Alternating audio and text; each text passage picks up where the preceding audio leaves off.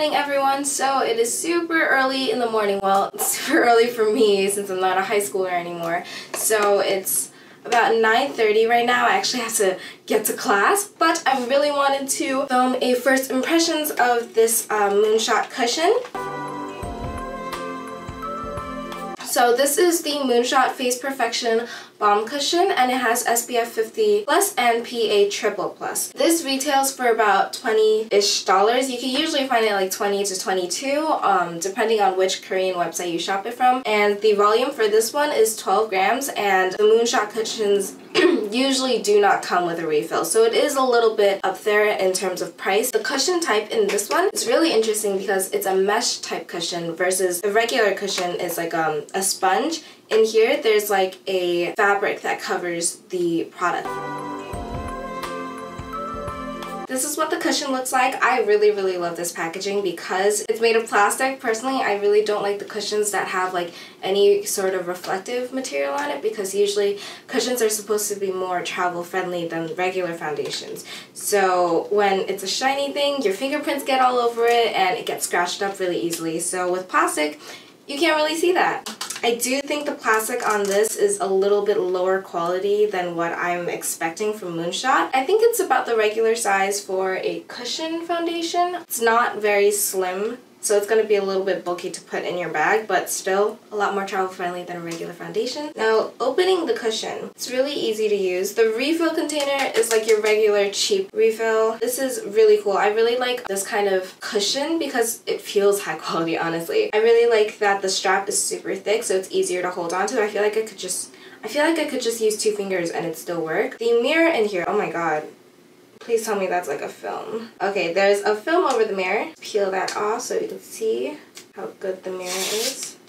Oh, the mirror is pretty good. It's like very HD because I know a lot of compacts that I've used before are very fuzzy or not high quality mirrors. So it's nice that there's a good big mirror in here.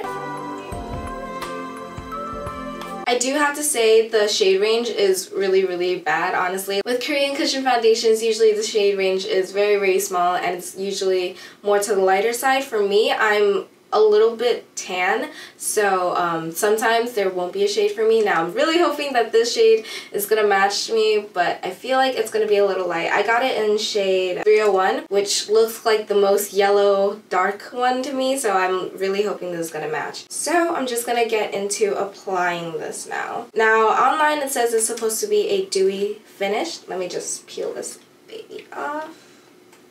I'm to try pressing in there.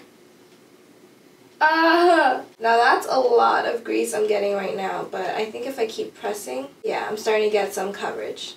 Alright, so that's the shade. Let's hope that is my color. I don't like the refill. Look, I don't know if you guys can see it, but the way it shakes up and down, it's like it doesn't fit perfectly. I don't really like that. It feels cheap now because I feel like this could easily just like come off because it's like a detachable part. So, oh my god. I just pressed it in decently hard and I got a ton of product, alright. Okay, so that's what first application looks like. I think the color is going to be okay. It's not going to be exactly my shade, but it's all I can get at this point with Korean foundations. Oh, if you guys don't know, I'm NC30 in MAC. Oh, I'll put my shade comparisons down below, so like in case anyone wants to know exactly how accurate this shade is.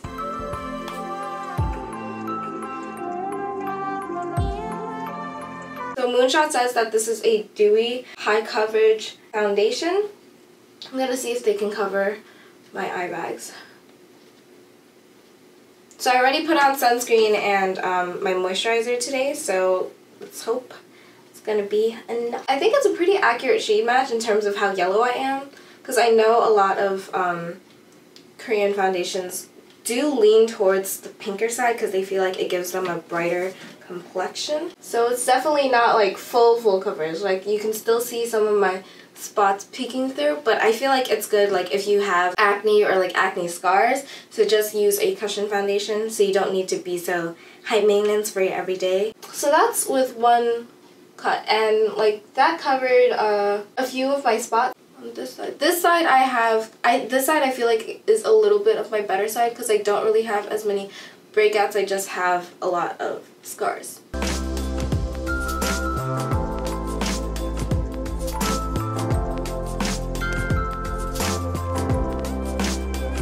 It's still a little bit more pink than my neck. I don't know if you guys can see that, but it's pretty good.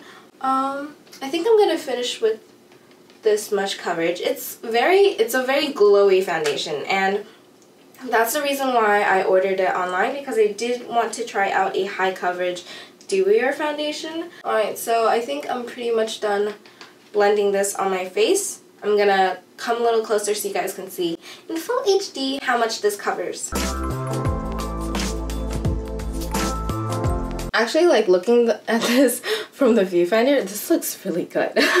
like it looks really good on my skin. It makes it feel like it's very moisturized. I don't think I'm gonna set this. It's a very humid day today, a hot and humid day. So gonna be like in the 90s, I think. So I'm gonna be testing this really intensely. Let's hope that I don't look super greasy by the end of the day. I'm gonna try to refrain from um, using any powder. So it's just gonna be blotting at most. I really like the shade match though. Yeah, I like it. Alright, so I really gotta go. I am like super late to class, so I'm gonna end it here and I will see you guys in the update. Alright, see you! So I wanted to update you guys on how the foundation has been going. So right now it's about 4.18, so roughly seven hours since I applied this. Um, I did apply some concealer and blush and highlight while I was commuting to school. I also applied some powder, but I only applied it in my T-zone, which is where I would normally apply it. I think the foundation is holding up relatively well. I don't look greasy. Like, I'm gonna zoom you guys real close. Let's see, can you guys see that? I hope you guys can see that. All right, so I think it's doing relatively well. It hasn't really needed any blotting and it's still like giving that dewy glow. It can get really cakey. I definitely noticed this, especially in the bathroom when I was checking my makeup, that it just looked unnatural, especially in the beginning. But you know how like later on your makeup like it'll start like mixing with your oils and then it starts looking more like your face, especially around my nose here. I don't know if you guys can see with this phone camera. So that's kind of what it looks like. So far, I think I'm enjoying it. If you have dry skin, you might want to avoid this because I do have this here. Now this is like a pimple I had from like a few days ago and it was um, ginormous, but then it popped and then there's like a little bit of a scab. And you know how scabs have like that uneven texture? You definitely can see the foundation caked up around it, like it doesn't adhere to it fully. So if you have dry patches, you might not necessarily enjoy this. Um, but if you're someone with oily skin who enjoys having like a glowy, dewy look, I think you might like this. And yeah, that's so much for the update. I'll check back with you guys um, probably around 9 or 10 when I'm going to be taking it off. So I'll check back in with you guys later. Bye!